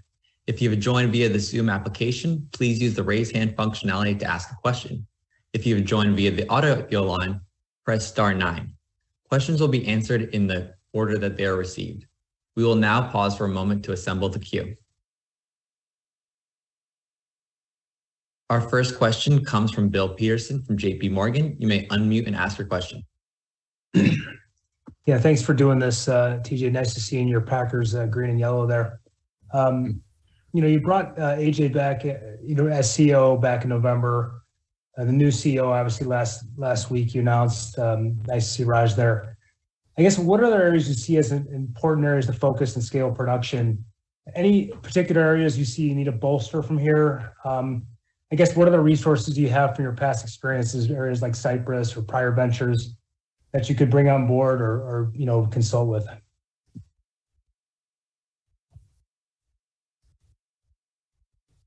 You get it? Go ahead. Yeah, so uh, if I can repeat the, real quickly, the question, uh, with me on board as a COO and Raj on board as a CEO, uh, the question really was, uh, who else are we or what, what is the other, uh, what are some of the other uh, team members who would come from TJ's prior experience or mine? Actually, we definitely, we are going to assemble a team. We're going to continuously look for the, the talent that we can trust and, you know, who we have worked with in the past who uh, have been in similar ramps. As I mentioned, you know, I have a, a you know a lot of experience ramping, you know, vertically straight up. Uh, especially you know, last ten years at Lumileds, we were ramping uh, for a uh, cell phone company not too far away from here. Um, you know, and and the ramps, as you know, are pretty crazy. And in there, we have you know uh, a talented group of people who helped actually do that. So yes, I you know I'm definitely I'm going to bring more people um, as as we go along here uh, in terms of uh, you know talent. So Raj, you can uh, you want to add some? Yeah, I mean, my, my you know, again, I, I'm looking forward to starting here. And once I start, um, you know, I think I'll understand what else is needed. And uh, clearly, 30 years spanning many, many uh, you know, you know, TI, Qualcomm, Micron, been in the industry for a long time. I do know a lot of people, but just depends upon the gaps, depends upon what we need, what we have here, and uh, maybe at the next time we have this call, I'll have a better answer. If I can sneak one more in, and, really that was also kind of a question for TJ as he sees it in his seat. But uh, the, the, the next question I have is, I think when you looked at the, the timeline you put forth, it looks like there's now another maybe one or two quarter delay versus at least uh, maybe our prior expectations. We kind of felt that the tools are going to be arriving, I think, towards the end of next year, maybe some early revenues in early 24. Um, just want to make sure if that's the case. Is that, is that a delay? And if so, what, what is the sort of nature of the one to two quarter delay um, as you see it today versus maybe a quarter ago when you when you uh, mentioned it? The uh, primary difference is the, the new unnamed designer. The, the fact that he's checking every single module, uh, the fact that he's got to run at 1350 UPH, and frankly, a more careful scheduling process. Um, I called uh, the designer himself four times in the last two days. I called Jay six times in the last two days, and all of the calls were, tell me that this number is right. Tell me why I should believe that number. So nobody can ever promise that a plan's going to happen, but I can tell you this is a carefully done plan and we're behind it. Uh, and why the old plan was what it was, um, it, I, I don't know. You know, I, I approved it. Somebody presented a plan. I was in the board meeting and I approved it. So I, I have my fingerprints on it. Now I'm giving you my plan. That's the best I can give as executive chairman and uh, with with personal work into it. And yes, there's No, I a delay. appreciate the candidness. Yes. No, appreciate the candidness in this, and I'll pass it along. Our next question comes from Gabe Daoud from Cowen. You may unmute and ask your question. Hey, thanks, TJ, for uh, for doing this great great detail, and, and nice to meet you, uh, uh, Raj and uh, and Ajay. Just um, maybe following up, TJ, on uh, Fab Two, expecting four lines to be there by Q4 24, and you you kind of noted the first line to get ramped up may take about 50 weeks or so. So just curious, what what kind of incremental improvement can we expect? to, to get the, the additional lines ramped up to, to full capacity? What, does it go from 50 weeks to, to 30 weeks? Just, just how do we think about that timing and improvement? Okay, let, let me uh, have Ajay answer that one because he'll be fully in charge of that at that time. Yeah, so uh, uh, as we alluded earlier, actually, there's a EPR PCR process, which is, you know, the equipment, you know, uh, uh, equipment as well as process certification uh, process that you know we go through, uh, making sure every process capability has you know a value of more than 1.3. All that strict discipline of following the process will let us learn very quickly on on the Gen 2 line one. And you can imagine the 50 weeks, you know, that TJ talked about for the first line of that kind at a high UPH 1350, high availability, that will shrink rapidly from line two onwards. So the schedule we have put in here is our best estimate uh, from that learning, what we could do, you know, from line two to four uh, as we see it today. Let me make one other comment, uh, and that is uh, we've already got a down payment on that yield curve. Since the heads and the lines are highly similar, uh, errors you have in placement or or some other error head related, we've taken our yield from zero. We suffered through four months of zero yield. We're now at 42%. By the end of this year, we'll be at 60%. I expect line two to turn on very near 60%. It may have a few weeks uh, below that, but that line is not going to start at zero and work its way up. That line is going to start at a significant yield. And at 1350 UPH, it's going to crank volume, even, even if its yields are uneconomic in the very beginning, it's going to be able to crank volume.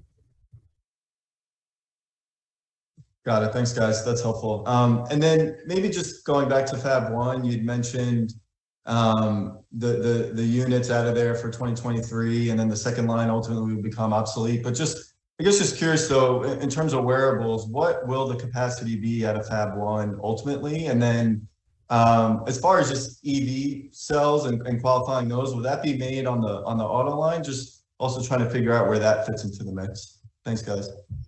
Yes, I'll take that. Uh, so the total Fab One output, uh, as we are expecting, as it ramps up, you know, after a certain point, I think uh, TJ showed the S curve, you know, where the learning kind of plateaus and we, you know, kind of sustain at that point.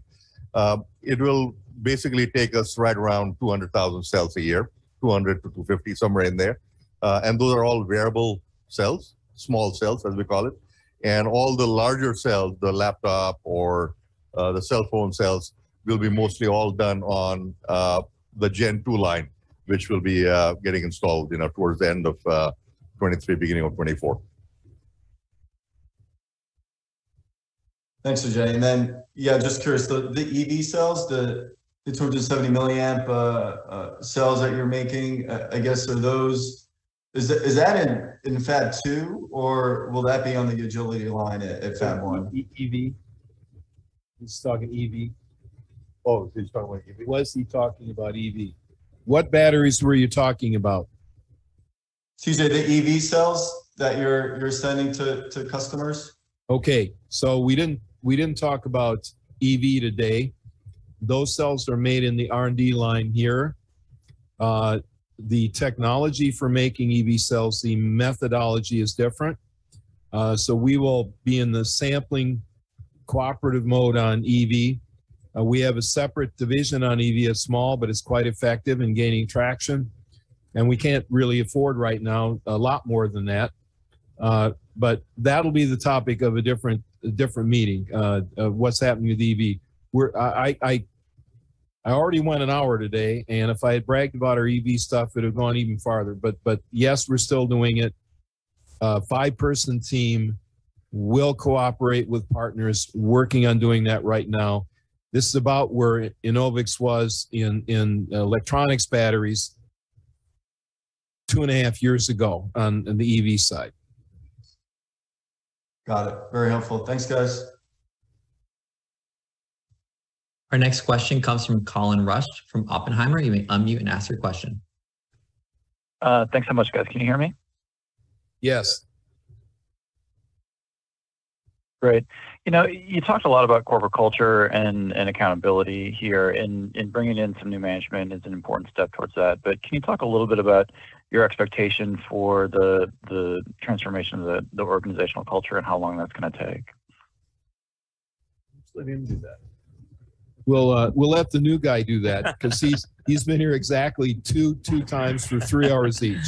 No, I mean, I you know, I, I think my my uh, my experience, you know, as I moved from different companies, the culture is different in each company. But I feel like what I've what I've learned over the years is that uh, transformations can happen pretty quickly. I mean, the key thing is to understand what's working, what's not working, put together the right processes, the right discipline, and the right structure, and the right people in place. Uh, you know, I think when a company moves from a stage of making early prototypes, sampling to high volume production, it's been done many, many times. I mean, it's not new, and we do it all the time. But it's just a change process, and really, it's the structure, the discipline, and uh, right people in the right roles. So I expect to get it done pretty quickly, but I'll have a much better answer after I start. But I'm not worried about it. So uh, I Okay, can add- perfect. uh, let me add a little bit to that, actually, just a little color, actually. Um, so after 49 days, I'm a lot more senior, a lot more senior than my than the CEO. but I will uh, say this: that the culture really starts with uh, with the management team and how we are leading by example, right? And the accountability, transparency, urgency, which I think TJ talked about a little bit. You know, we are moving, we are transforming the company, obviously, from a research development, small, very small volume, you know, fewer customers being sampled, et cetera, to a what you saw today. You know, we're talking about big numbers, 100, you know, even yeah, all the way to 10K samples per customer, important customer. You saw the customer list. And the culture will begin at with us, with the management team, right?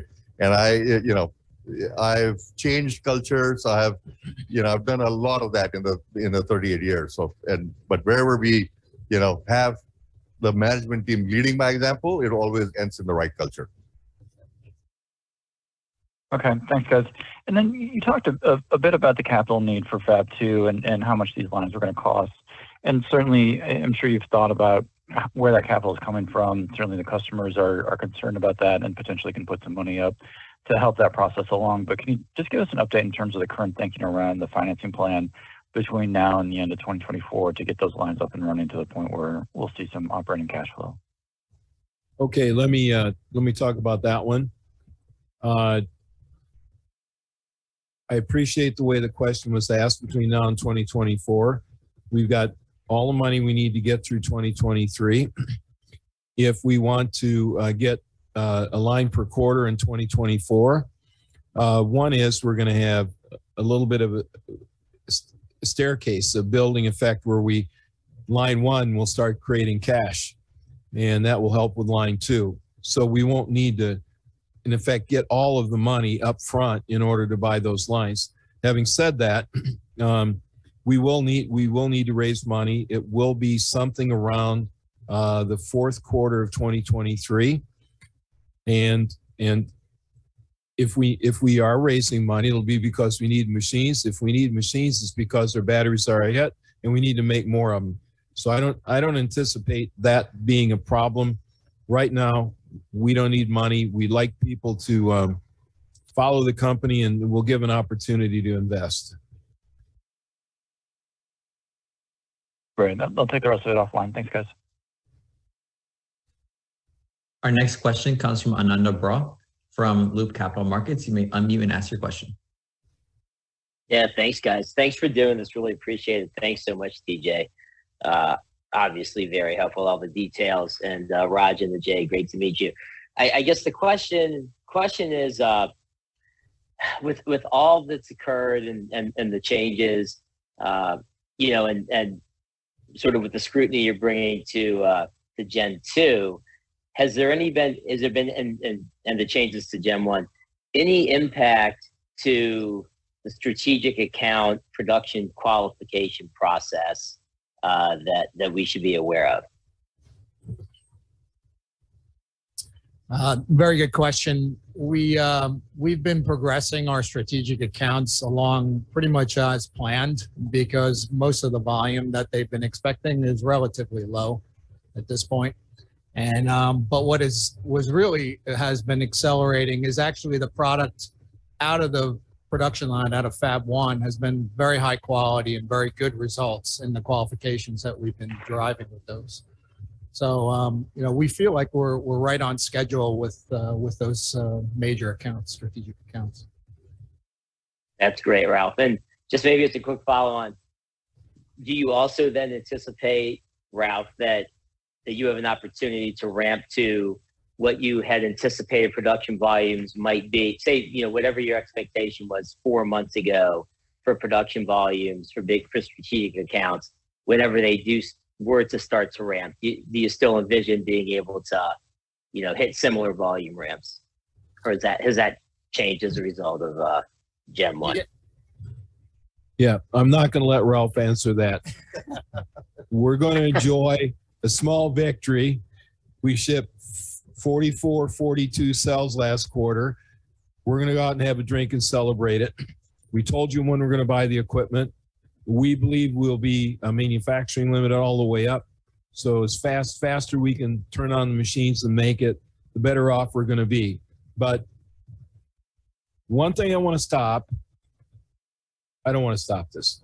I love speculation. You know, it, it drives interest in the corporation. But one thing I don't want to participate in is the speculation of when you're going to be a billion dollar company. We are going to get big. You can calculate the revenue from four lines. I gave you enough data to calculate it. I deliberately did not calculate it for you because, frankly, as the guy who ran the SPAC, I feel that's one of the problems with SPACs. I feel that SPACs put in too much money too early. On the company side, they, they, there's a rush of capital that causes a lack of respect for capital. And on the investor side, everybody's looking for the next Google two quarters from now. We've got 2023. If you watch your trajectory in 2023, every time we build batteries, we'll put more people in that funnel. And, and, and that funnel is over a year long. It's one to three years long. So the other guys can bullshit all they want about we got this battery, you know, we we grow CVD nanowires. Great, grow them, baby, because you got about 100 customers to put through a three-year fu- funnel. That's what we're doing. That's what matters, and that's what builds value. And yes, we we will be big and important in the future, but this is my get them back on track. Give make a get a, a beat meet and beat kind of plan going. So I'm not I'm not going to allow Ralph to to speculate on on billionaire city today. Not today. All right, that's great. Thanks so much. Appreciate it. Our next question comes from Alex Potter from Piper Sandler. You may unmute and ask your question. Great. Thanks, guys. I, I appreciate it. Um, so one uh, question that I did have, um, you, you mentioned these targets that people put in SPAC decks um, that they disavow almost immediately uh, after publishing them. Um, is there anything in that SPAC deck regarding what you think the company is capable of doing from a margin standpoint, long term, given you know, updated thoughts regarding where the new, where, where the second fab is going to be located, or anything else that would lead you to believe that the gross margin or the EBITDA margin uh, expectations that you originally had may require revision? Thanks. That's the only question. Okay, uh, let me answer that one. I've been concerned about eventual profitability for a long time. You know, I ran a company, we had our honeymoon for three or four years, and then all of a sudden we hit head on into Korea Inc., Japan Inc., and and frankly, you know, companies like Micron in the United States are they're animals, they're difficult to deal with. so I know eventually you only make your way in the world if you make something cheaper, such that you can make a good gross margin, pay for your R&D to move to the next thing, and still put something on the bottom line. So my feeling about profit is if it ever gets to be 20%, and if I'm still on the board, I'm going to ask, why aren't you guys investing? Um, and, and, and, and taking a lead with more new products faster or more new technologies faster. So to me, 20%, anybody claiming more than 20% profit just hasn't been out there yet, uh, unless they're making software and their, their COGS is, is, is, really low. Um, we don't have the data yet, and, and that data will come from, in effect, unit economics, where you take a machine, use a, a Gen 2 machine, and you look at how much it costs. That's why it's going to be in a low cost area. I want a high speed machine that also gets run by people who earn two bucks an hour. That's what you got to have to be competitive. And, and we will look at that those unit economics. We haven't gotten there in their plan yet, so we don't have a good answer for you. But I do believe this company can be quite profitable uh, with automated equipment in a low cost area in the electronics segment, the $13 billion electronics, portable electronics segment of the market. Don't have an answer today, but I, I'm, I'm, we're headed in the right direction, and the strategic decisions we've made absolutely are the best for that. Very good. Thanks a lot. Our next question comes from Derek Soderberg from Cantor. You may unmute and ask your question. Yeah, hey everyone, thanks uh, for taking the questions. And uh, this was a, a, phenomenal presentation so far. Um, so just piggybacking off the last question, um, you know, just looking at the last estimates from the SPAC deck, uh, TJ, is there any revision to the timeline uh, for the EX2 or the EX3 uh, or any changes made to Gen 2 that would, you know, lead you to change that timeline at all? Um, anything uh, to, to point to there? That's a really good question. Uh, you guys are they're pretty good. If you looked at my my guiding principles, and they'll be published, so you can look at them again on the bottom. It says new technology plan, and it says we're going to have new technology plans for every product. That's a code word for we're going to have the discipline of manufacturing, specifications, schedules, execution of the schedule in R&D that we have that we have have to have manufacturing even to be around.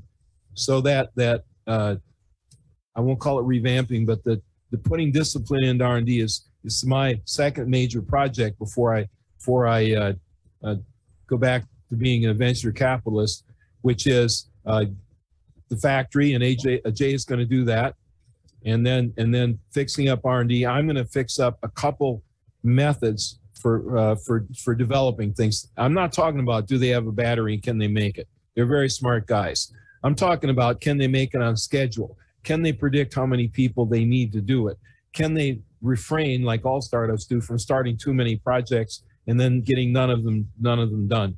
That process, a rudimentary form of it, uh, I'm going to get in place. I'm working. I'm right halfway through that right now. New technology plan.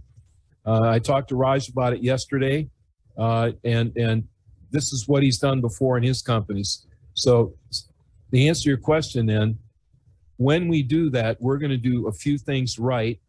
I can tell you number two on the list is EX 1.5. So taking our technology to the next node is there. We we've got we've analyzed the projects we need to work on. That's a big one. It will get funded, and then we're going to watch it like a hawk. I think the main thing that upper management can do is make sure it's staffed properly, and we spend enough money on it, and we demand through weekly meetings and attention that it stays on schedule, and and we don't have the you know, it, and it's not just this company. It's every company uh, you know, as, as a reason for being behind schedule. We've got to change that here. But EX 1.5 will not be one of the casualties, so I'll tell you that. Got it. Well, that was my only question. Uh, appreciate all the detail. Thanks, guys. Our next question comes from Gus Richard from Northland Securities. You may unmute and ask your question. Yes, thanks for letting me ask a question. Um, I was just wondering, you gave us, you know, the feedback from investors. What has been the feedback from your customers so far? So we've uh, received uh, excellent feedback from the Fab One samples in particular. Again, as TJ pointed out, that is a, a key aspect. Is we're giving them production units to do their, you know, integration testing and final qualifications. We're, you know, those tests take somewhere around three plus months to get done, and we started shipping those products about the middle of the year, you know, this 22. So we're, you know, partially through that process, and um, we've been meeting all the specs and, you know, working through, um, you know, the uh, applications that these customers are going to be using these products in. And, and then just on a follow-up, um, when when should we expect to see products with uh, batteries in them in the market? It's really dictated by the release schedules of our customers. You can look at the funnel and the, the um, any customer that's sort of in the uh, QS 100 and beyond phase is close to releasing a product. And um, so we have to be reliant on, on what their product release schedules are. We've been saying that in 23, you will see, you know, tangible evidence of that. Got it. And then the last one for me, in terms of the competitive landscape, you know, you're a little bit behind where you thought you would be at this point. Are your competitors catching up? Are you seeing other novel batteries in the market that could give you a run for the money?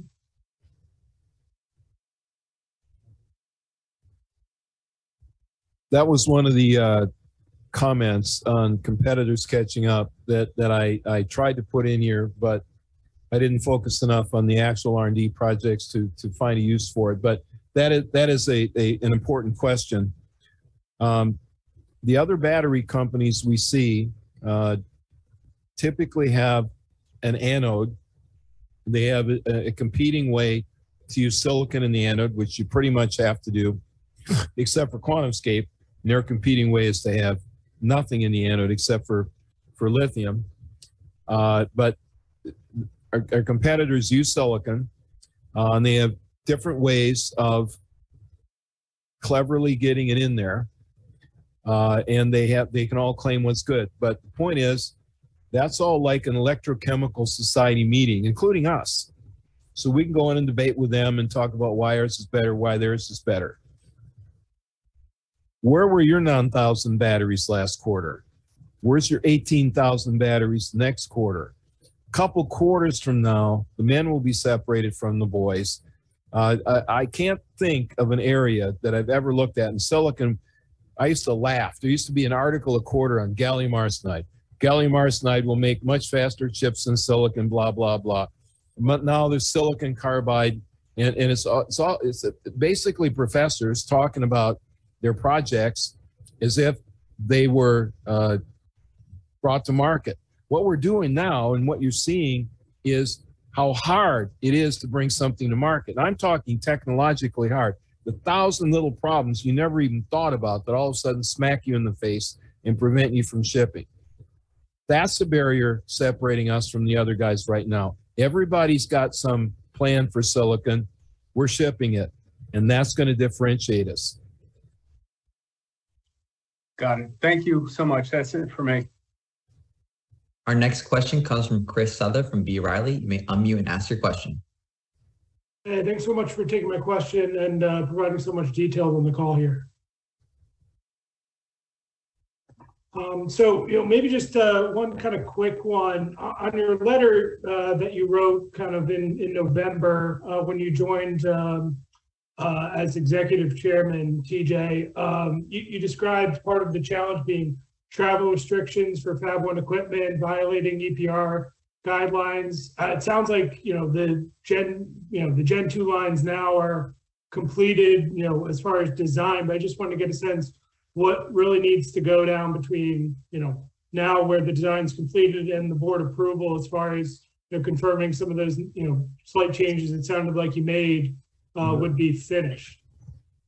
Yeah, so those, uh, a good question, actually. Uh, Repeat the question. Yeah, so let me repeat the question. So the question uh, that you asked was when TJ wrote that letter in November talking difficulties about uh, not being able to travel uh, to the equipment vendor site or for the equipment guys to come or the vendors come here.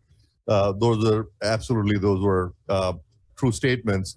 Uh, we are beyond that now. We uh, I can tell you anecdotally, um, our engineers and the uh, the photo of the engineer that you saw himself, he has made already six trips in the last uh, I would say four months to the vendor site and working diligently on the proof of concepts. So this time, instead of just saying, okay, let's give you the PO and hope for the best and let them, you know, give us a machine which kind of works and we'll go see it or not. Uh, this time we are building proofs of concepts, which means smaller uh, machines that represent the heads, as TJ mentioned, which are actually working in action. And we have seen those. You see the videos of those.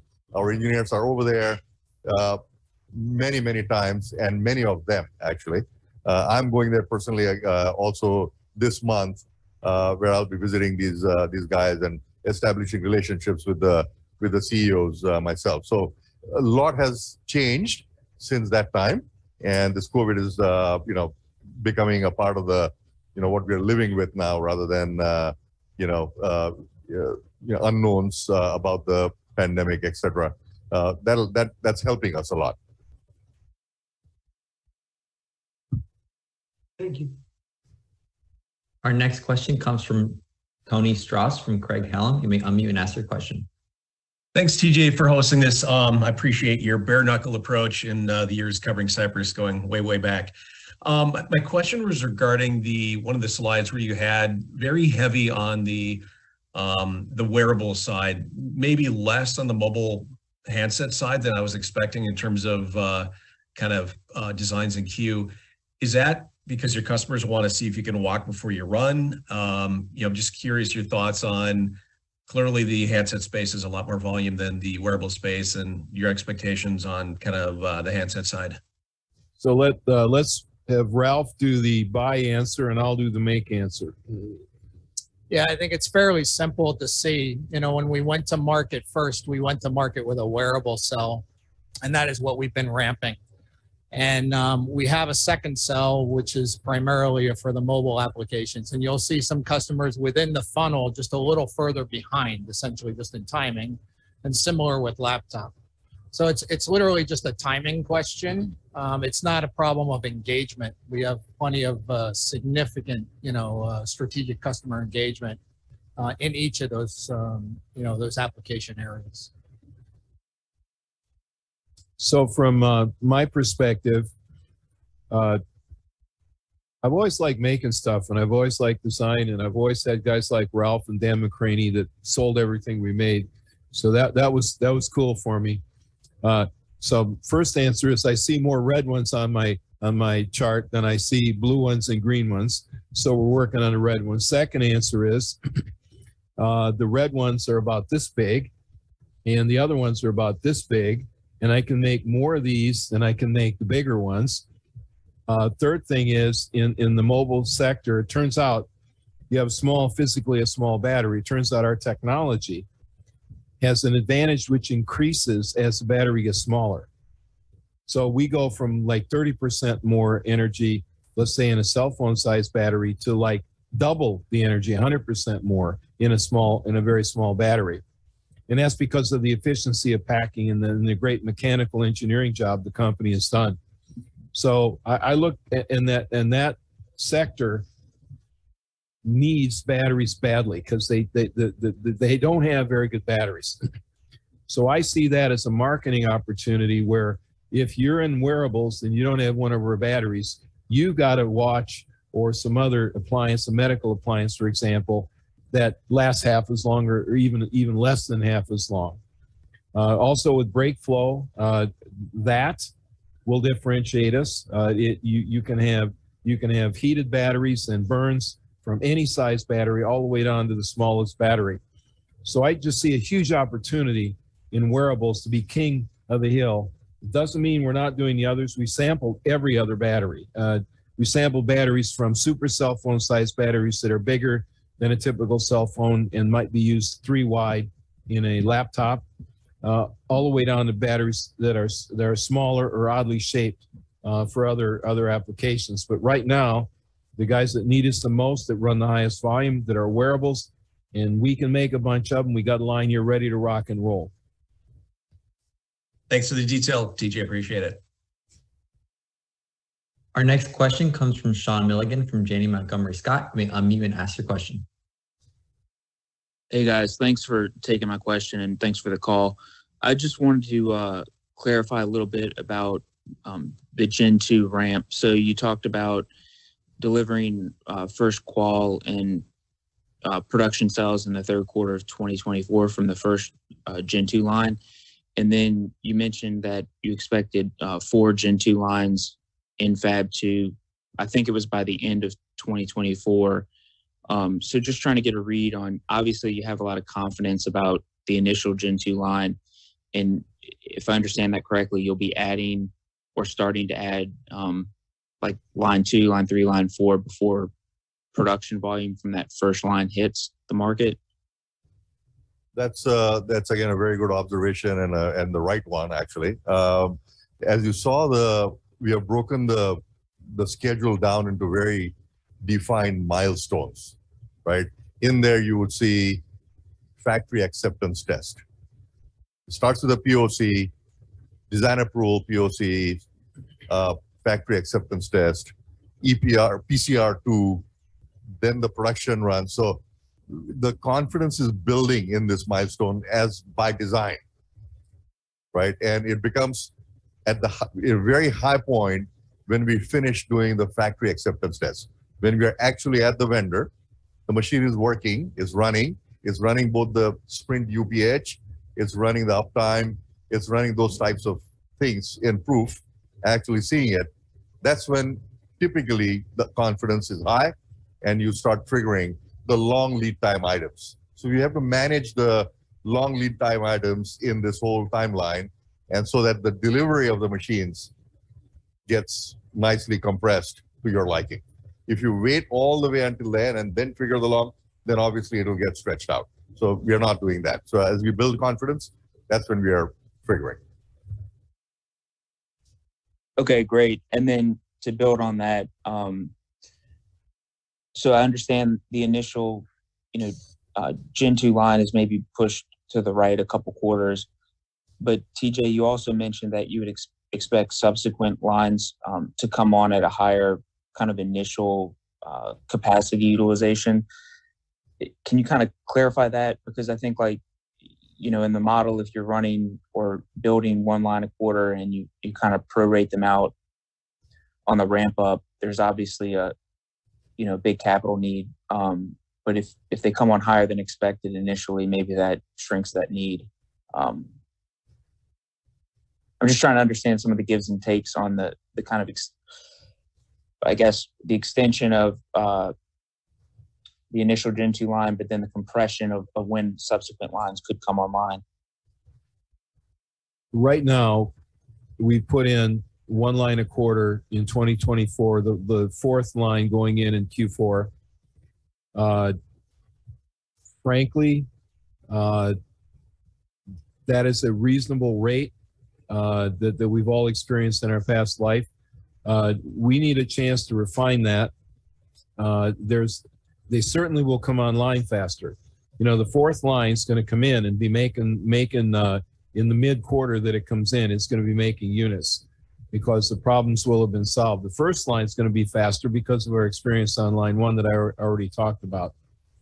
Um, we're comfortable that we can do one line a quarter once we get going. That that's been our, our experience for putting equipment online.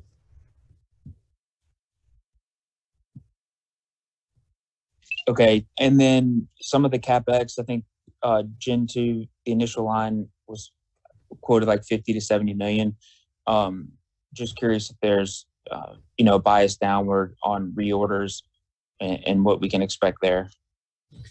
The uh, 50 to 70 million was 55 million for the equipment and and then 15 million to hook it up.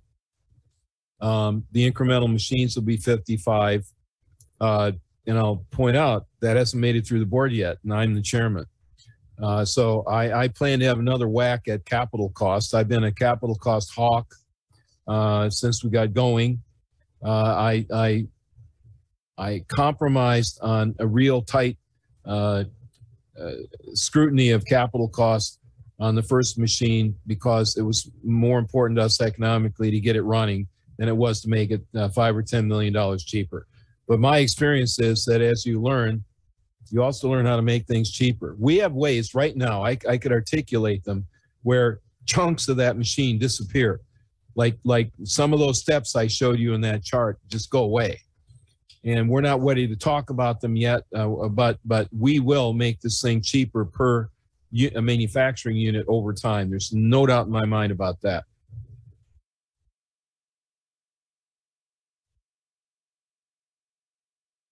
All right, that's all. Thank you guys for the call. Our next question comes from Chip Moore from EF Hutton. You may unmute and ask your question. Thanks. Uh, TJ, you talked about trying to get BrakeFlow into production uh, on the Gen 2 line as, as soon as possible. Can you expand on that a little bit maybe? Are there any limiting factors uh, in, in terms of any risks of delays as you focus on ramping up initially, or, or how should we think about that?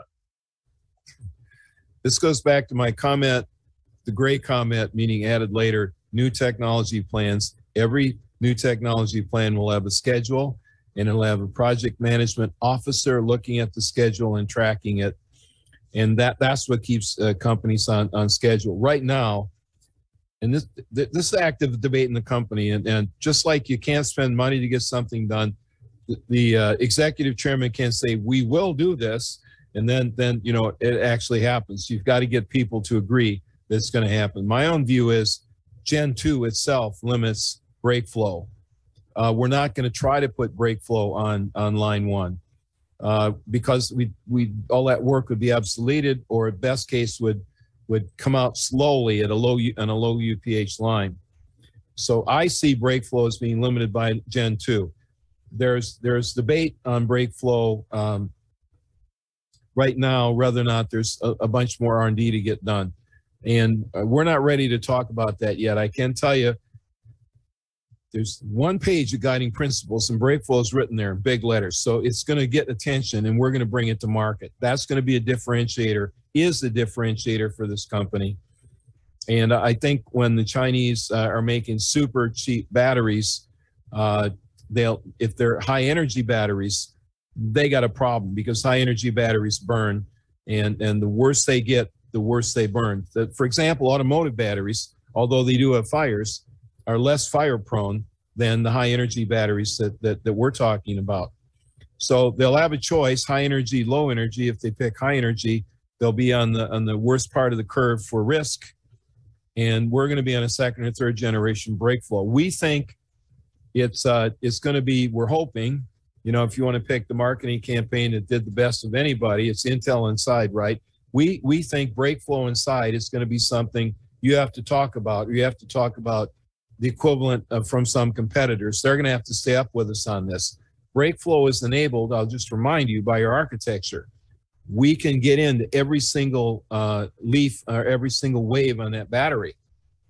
And uh, they can't because they got this roll. Uh, we, we think it's going to be a differentiator and we're going to push it. Got it. Perfect. I could sneak in one last one more, I guess, a clarification. Um, great to see Samsung, then you disclose them. Um, are you able to confirm if, if they're the MOU announced uh, last quarter? You've uh, you've gotten beyond my depth. You're asking a legal question when you ask MOU. Uh, I'm old enough to know that when you get asked a question you don't understand, you just say, "I don't know." So I, will I'll pass on that one. I do know. Had to try. Thanks. I do know, I do know, and I thank Samsung for allowing us to tell the world they're interested in our stuff enough to get samples. That's a big deal of validation. Absolutely. Thank you. There are no further questions at this time. With that, I'd like to turn it over to TJ Rodgers for closing remarks. Thank you very much for uh, being so patient with a, a long, a long presentation. Uh, we're very enthusiastic about the company. Uh, we're starting to ship. Our ship rate is doubling quarter on quarter. Our, our technology does work. And uh, stay tuned on, on Gen 2. Uh, we, we, we're very confident about it. We've got the designer the other guys don't have. We've got a design. And on March 15th, you're going to find out if it passes scrutiny, which means days in the boardroom looking at box by box and not just waving your arm at a PO. So we think Gen 2 will be a big deal. Uh, and we're very enthusiastic about the company right now. And I got some new guys to run it so I can go back and, and do my job.